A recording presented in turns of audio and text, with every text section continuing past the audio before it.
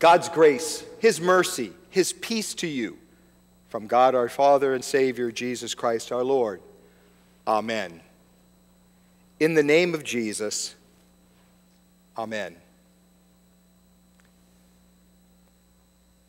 Wonderful word from our Lord. Jesus heals the deaf and mute man. Abundantly beautiful is this gospel for us. For Jesus unstops this man's ears so that the man can hear the very word of God which saves. And he loosens the man's tongue so that the man can pray, can praise, and bear witness to the salvation he has received from the living God. That's exactly why Jesus healed you and healed me. You were once deaf and mute, just like the man in the gospel reading today.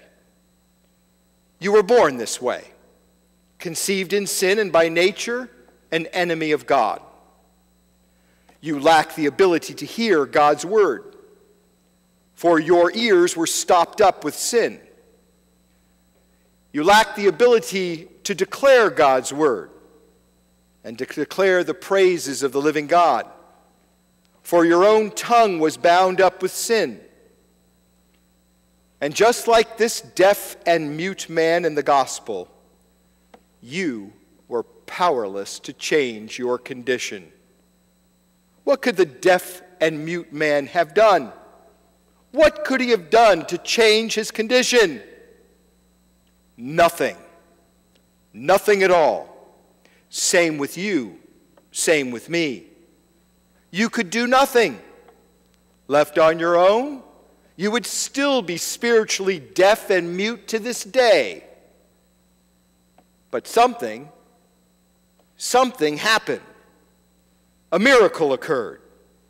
Like the people in the gospel lesson who brought the deaf and mute man to Jesus, someone, someone brought you to Jesus.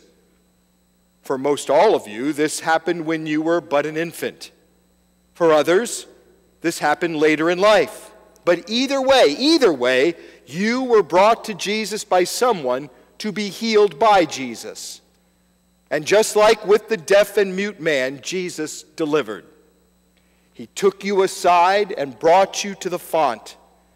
There at the font, in the waters joined with God's word, he spat on you. Water combined with the holy word of the living God. And he said to you, Ephphatha, be opened. And at that, at that very moment, your ears are opened and your tongue loosed. You were healed so that your ears could hear the saving word of God and your tongue could pray, could praise and bear witness of the salvation that you have received from Jesus' perfect life and from Jesus' sacrificial death on the cross. All of this for you. When the deaf and mute man in the gospel lesson was healed, we're told that he spoke plainly. But that word plainly in English really does not convey what is said in the original language of the Greek. The Greek word here is orthos, which means rightly. Well, if you've ever had to yourself or bring your children to an orthodontist, what does the orthodontist do? He makes the teeth right, rightly put together. It's the same word used for that orthodontist. It's the same word used when we use the word orthodoxy, which means right praise or right reception of praise from God. You see, it's not just that the man could now speak plainly so that others could now understand what he was saying. That's not the gist of the text. It's that the man now spoke rightly. His mouth and ears were now opened in order that he might both hear rightly and speak rightly. So it is with you. The great physician of your soul has healed you that you might both hear and declare his holy word rightly. You are no longer spiritually deaf, no longer spiritually mute, but have been given the awesome ability to hear and speak the very word of God. You should be like the people in the gospel lesson who zealously proclaimed to all what Jesus had done. You should be telling everyone you meet Jesus has done all things well. He even makes the deaf hear and the mute speak. He lived and he died for me. He healed me. I am saved. Come, let me take you to Jesus so that he can heal you too. But too often you don't. Instead, way too often, you live as though you haven't been healed at all. Sometimes you use your opened ears to listen to the deceptive philosophies of the world, to listen to the destructive temptations of Satan, to listen to the sinful desires of your own flesh. You often use your loosened tongues to spread gossip or slander your neighbor, to tell lies to make yourself look good, or behave as though you're still spiritually deaf and mute as though Jesus has not accomplished anything in you at all. Brothers and sisters in Christ, this ought not be. The words of St. James when he declares, These things ought not be so. Repent. You are a baptized child of Jesus Christ. Live like it. You know better than to think that you can mock God and render to him just lip service. Stop believing that you can uh, here and now pull one over on God as if you can keep him from knowing those sins that you think you commit in secret. God knows. Of course, He knows. He knows how your ears love to perhaps hear the latest gossip, how your tongues love to spread it to others. You're not keeping anything from God. Repent Repent and stop using your loosened tongues to grumble about the conditions in your home, the conditions in your workplace, even the conditions in your congregation, especially when you're not willing to be a part of the solution. Stop pointing your fingers at others. Repent, for the Lord did not open your ears, and the Lord did not loosen your tongue to be used for such evil. You know that. I know that. You're a baptized child of Christ. Live like it. Let's stop and think about this. What if God treated you like you deserve to be treated? What if God simply matched your efforts and served you only as much as you serve Him? Just the thought of that should horrify you. But you needn't be horrified. For the good news is that God does not treat you like that. God does not treat you like you deserve to be treated, and He doesn't simply match your efforts. Instead, amazingly, God sent His one and only Son, Jesus, to the world so that He might treat Jesus like you deserve to be treated. Instead of punishing you, God punished his one and only Son. Instead of forsaking you, God forsook his Son. God sent his one and only Son to take upon himself all your sins, all the sins ever committed by anyone at any time in this sinful world, all upon himself on the cross.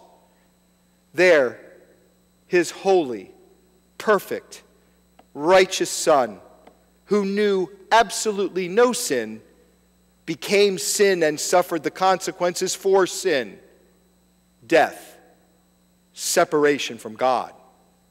And all this for you, sinful you, to pay the price for your sins that you might be forgiven, that you can go free.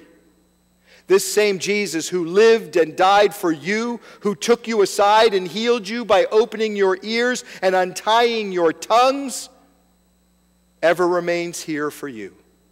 This gift he's given to you in the words of the holy baptism, his word of life, the word of God. He promises in His Word to be with you always. He makes good on His promises here in this holy house during divine service. Here, Jesus is present to heal you time and time again, to hear your confession, to grant you holy absolution. For here, Jesus continues to put his forgiveness in your ears and his very body and blood on your loosened tongues to strengthen and preserve you in the one true faith that has eternal salvation, that your lips may declare his praise here in his house and out there, out there in the world. Come then, dear brothers and sisters. Have your ears open to hear the word of the living God and your tongues loosened to declare his holy praises. Leave your sins here at the altar. They are paid in full. You are free, free in Christ, free not to do as you please and continue in your old sinful ways, but free to live as a baptized, forgiven child of the living God. Free, set free to serve Jesus and to serve Him by serving your neighbor. Free to be His witnesses to this dead and dying world free to tell others about what Jesus has done for you. Oh, yeah, the people in the gospel tonight, they were charged by Jesus not to tell others about the miraculous healing done by Jesus, for his ministry was not yet complete. And he didn't want people to know him as simply the faith healer, but as the Savior of the world. But now, it is finished. And Jesus wants you to tell everybody go. Go, therefore, and use your loosened tongues to declare what your open ears have heard. Tell everyone you can all that Jesus has done, that Jesus has done all things well. He even makes the deaf hear and the mute speak. And don't just tell, but follow the example of those friends there in the Word of God read tonight in the Gospel the family of the deaf and mute man, they're listed tonight. Bring others to where Jesus is. Bring him, them here to his holy house during divine service, that Jesus might open their ears and loosen their tongues through his holy word and sacraments. That's how true evangelism is accomplished. Not simply by telling about Jesus, but by bringing them to where Jesus is so that Jesus might heal them. I pray as we prayed tonight together that the Holy Spirit enliven you by the power of the gospel to truly be used as Jesus' instruments to bringing others to Him. In Jesus' holy and precious name, for we have ears for hearing, tongues for speaking, to praise our living God. In Jesus' name, amen. And now may the peace of Almighty God, which surpasses all human understanding, keep your hearts and your minds in Christ Jesus unto everlasting life. Amen.